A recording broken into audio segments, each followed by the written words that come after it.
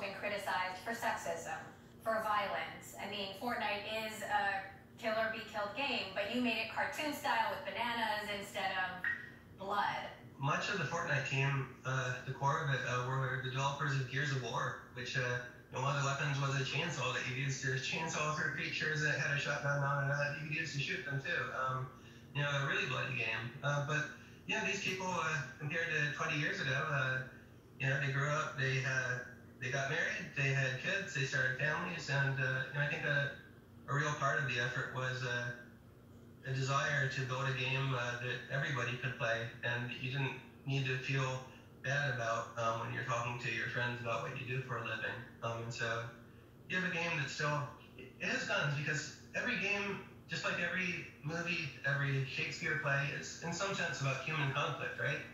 And in a game, you know, this is just one way to conduct it. But I, think Fortnite shows that you can have guns and a fun experience without blood, without death. You know, often you get teleported out of Fortnite um, when you're eliminated. Um, mm. I think that it shows that you can. Uh, there's a big spectrum of ways to present um, human conflict uh, that does not need to uh, yeah, encourage violence or uh, or bad behavior. So, what is your vision for Epic? You know, what do you think the next big hit will be?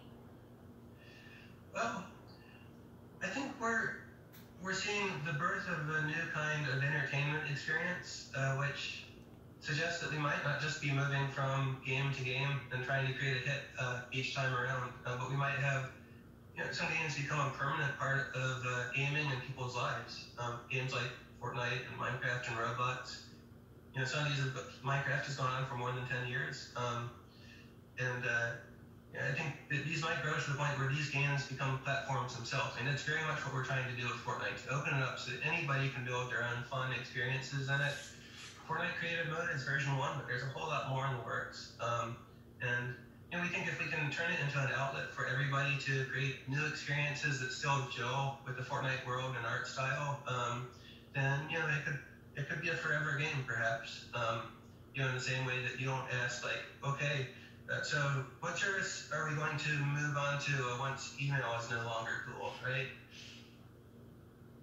So the vision is for Fortnite to last forever in some form.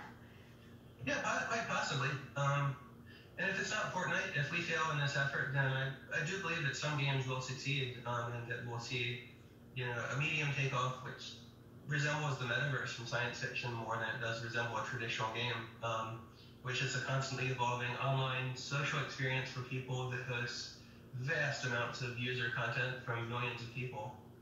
Do you believe that we're living in some sort of simulation of someone else's mind? yeah, that's a good question. I, I don't know. It, it, that's always been a great mystery to me. Um, the frontier of the laws of physics uh, versus our observation of reality and God and souls and all of these things. Um, it's a it's a great mystery, and uh, unfortunately, you don't find uh, out the answers until it's too late. Tim, thank you so much for joining us. Tim Sweeney, the founder and CEO of Epic Games. It's been wonderful to have you here on the show.